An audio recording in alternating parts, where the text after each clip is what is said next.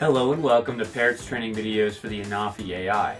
In this video, we'll walk through the different photogrammetry options found in the new FreeFlight 7 application.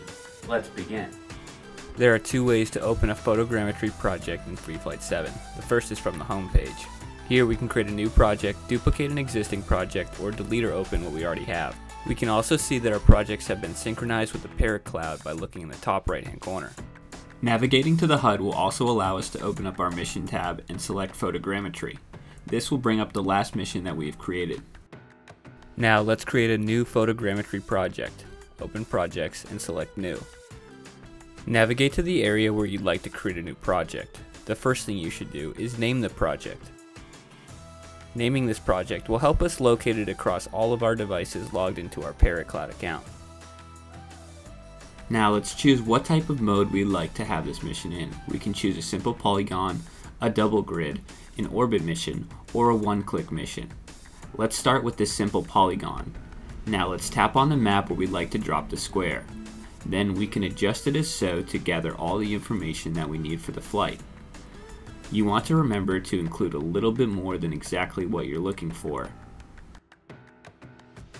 Once we have defined the boundary for our project, we have the ability to choose between a number of different grids. We can do a simple grid, a double grid, or an orbit, depending on what sides of the building we're looking to capture.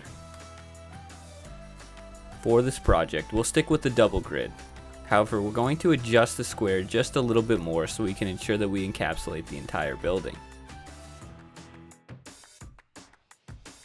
Now we will need to confirm our image parameters are set up for the mission. We'll want to make sure our resolution is 48 megapixel, our exposure is where we'd like it, and if we'd like to select the white balance for a sunny or cloudy day.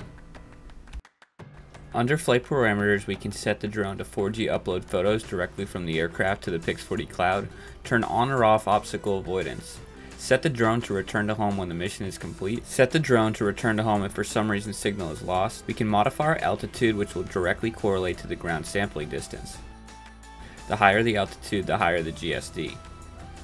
We can change our camera tilt, and finally we can adjust our front and side overlap for our liking. When complete, we'll exit and return to the main flight page. Once you are satisfied with the flight parameters, you can go back to the main screen. Here we'll see an estimated flight time and an estimated total distance the drone will fly. When we are finished, we'll press the Done button. That will bring us to our home screen, and the only thing we'll have to do from there is press the play button. Before we fly, let's create a one-click photogrammetry mission. Select the one-click from the modes. Now you'll see that the different buildings will light up. You can select individual buildings. Then input the building height and define it. This will ensure that you fly the proper height of the building.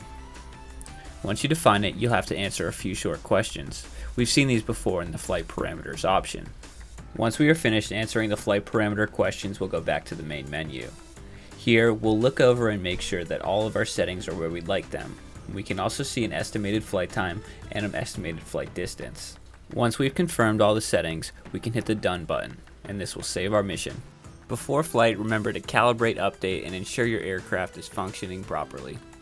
Now all we need to do is hit the play button and the aircraft will take off and fly the mission autonomously. And if you set it to, return to home at the end of the mission. During the mission, the operator does have a few options. At the bottom, we can see the number of pictures taken for each leg. To the right, we do have a stop button if we need to pause the mission or stop the mission for some reason. We can also take over with manual control if needed. Note that the mission will fly the horizontal pattern first over the building.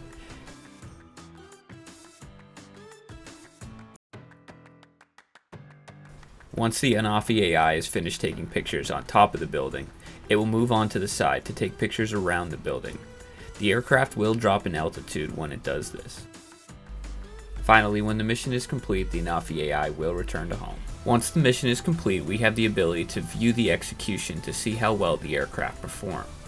Here we can review the exact flight path the aircraft flew.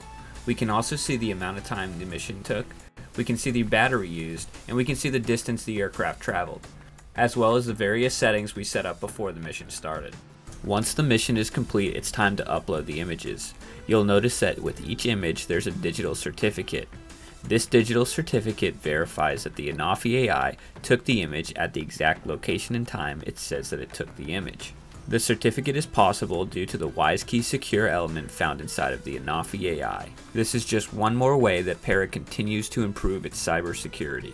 If you do not want your pictures to be digitally signed, go to the settings menu, then go to advanced, then select recording. Where it says sign pictures, you can turn this to no. If you are using Pix4D Cloud to process your images, you'll see that verified images only have been used to create your 3D model. You should now have a good understanding of the different photogrammetry projects found in the FreeFlight 7 application. In the next video, we'll walk through Touch and Fly. Thanks for tuning in to Parrot's training videos for the Anafi AI.